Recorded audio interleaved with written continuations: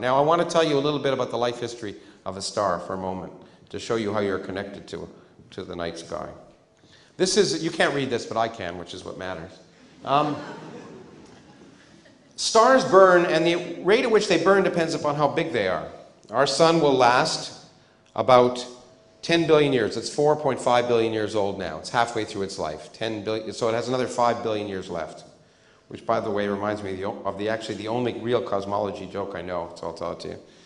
Um, so someone like me is talking to a group of people like you on a Sunday, and he says, you know, the sun is going to burn for only for 5 billion more years. And someone in the audience goes, did you say 5 million years? And the speaker says, no, 5 billion years. And the guy goes, whew, okay. anyway, um, so anyway, uh, so when a star 10 times the mass of our sun, however, is burning, it burns much faster, and it lives not 10 billion years, but only 10 million years, which is important. It's really important for us that big stars have short lives. And what happens when they do that? Well, stars are burning hydrogen fuel, just like our nuclear bomb did, turning it into helium. And when they do, they emit, each time some hydrogen atom, nuclei come together to form helium, they emit uh, over a million times more energy than you would get by lighting a match. Well, the biggest bang for your buck, as my friends in Los Alamos say. And that means, and that's the, that's the, the, the process by which stars burn. And uh, that, all, since I'm in London, it also reminds me of another important story, I guess, is that people didn't know how stars burned. What, what was the power source behind stars was a big problem. How long can they last? And one of the first calculations of how long stars should last was done by actually a German doctor, which is amazing that he did a calculation, um, Uh, in, in the 18th century. And he said, well, if the sun is a lump of coal, and you knew the mass of the sun, it's easy to determine the mass of the sun, a million times the mass of the earth, how long would it be able to burn? And the brightness it's burning now. And, you could, and the answer was remarkable. and you worked out, it was 10,000 years, which was perfectly biblical. It was exactly right. But of course, we later learned that the Earth was actually older, and it was a big problem. How could you have a process that could cause an object to burn for much longer? And two physicists, Lord Kelvin here and Helmholtz in, in, in Germany, did an independent calculation. They said, well, maybe as stuff collapses, gravity causes it to collapse and emit energy, and maybe gravity is powering a star. And they worked it out, and they found out gravity could power a star for not 10,000 years, but about 100 million years, which is great. But even then, we knew the Earth was older than 100 million years old. We knew it was billions of years old, and it was a problem. And in 1929, Sir Arthur Stanley Eddington, a very well known British scientist and astronomer, wrote a book on the internal constitution of the stars, and he said, there has to be some new energy process, some new physics working inside the star. And everyone's, you know, they scoffed at that idea because this, the sun isn't that hot. It's only a million degrees and 10 million degrees in its center, which is not that hot. I live in Phoenix, and it's not really that hot. And it's hot enough that you could recreate those conditions in the laboratory, even then in the 1920s, and people thought they understood all the physics at 10 million degrees.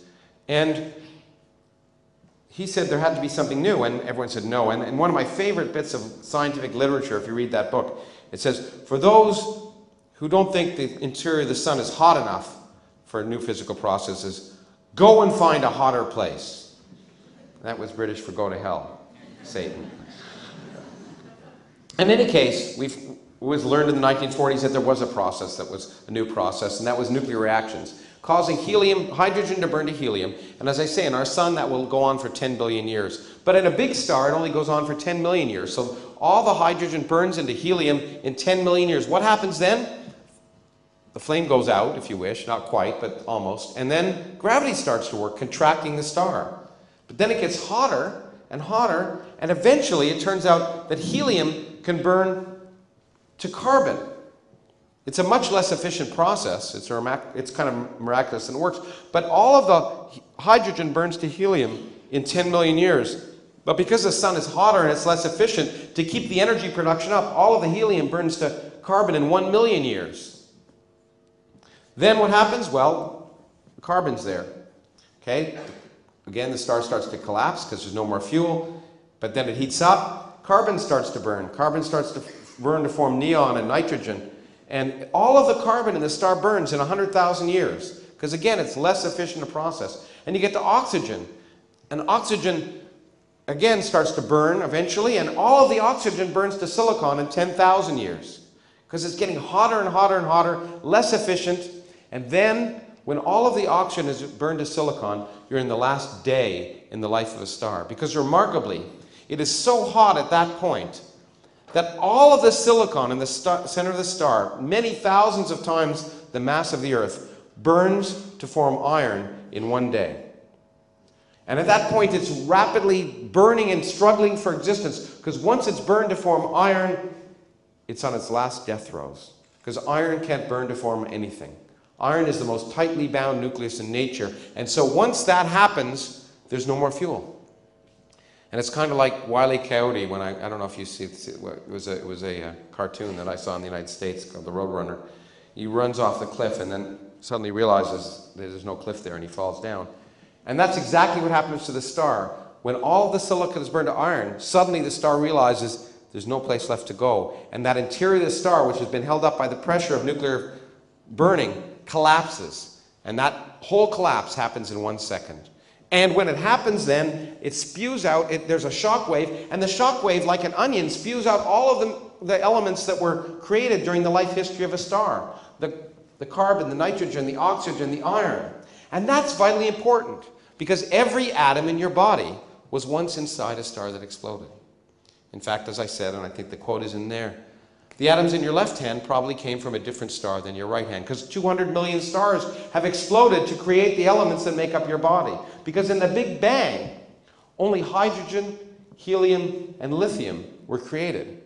That's not important. Well, lithium may be important for some people in this room, but rest of but carbon, nitrogen, oxygen, all those other things are the stuff that we depend upon and those weren't created at the beginning of the universe. The only place they were created were in the nuclear furnaces at the center of stars.